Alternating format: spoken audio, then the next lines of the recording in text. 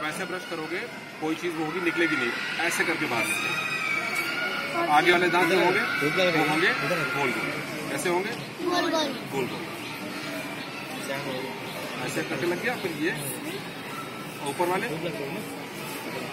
ऊपर वाले ऐसे। अंदर वाले? ऐसे ऐसे। ठीक है?